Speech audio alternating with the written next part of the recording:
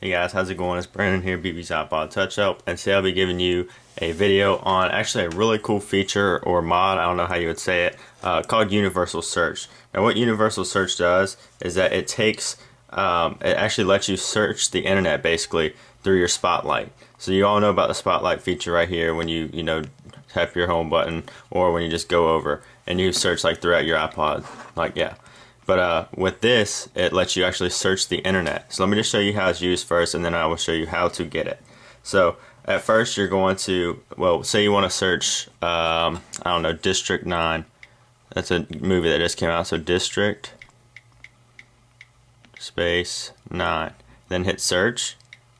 And then down here on the bottom, you see you have, you have right here, you have Wikipedia, Google. Here, let me right here. Is some of the stuff you have maps movies news images dictionary all that stuff. So it's a movie so it'll go under movies. And then you'll have uh, Rotten Tomatoes uh, IMD I'm not sure what that is and then listings. So if you want to see if there's listings of this movie showing around you you would click that. Uh, I'll just want to see maybe a review. So click that and then it'll open up the web page. Right there I already had it open actually. So right there see? And you can just read it and yeah. So also another cool thing is you could search uh, like maps and stuff. So say you were looking for something I don't know Best Buy. Best Buy. Oops. Best Buy. And then go down here to wait where is Google Maps? Maps. And then it will load up all the maps around your area on the Google Maps which is really cool. Just hit allow it to add your location and stuff and then it will show all of the Best Buys around your area, which, there you go. So that's a really cool feature. Another thing is you can search images. I don't know, um, Civic,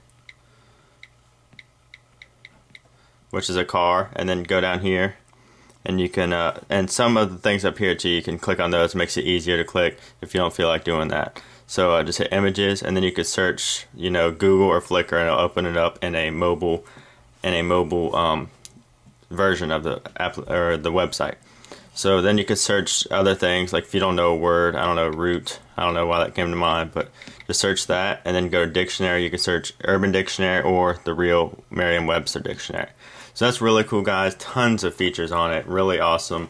Um, you can, and now I'll show you how to get this actually. Um, so what you're gonna do is go to Cydia, and you're gonna have to add the source. It's called Sinful Repo. You should know about it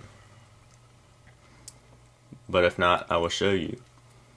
It is, it is, this is usually a paid application in Cydia, but they have it for free on their repo. So that's really cool. Props to them for that.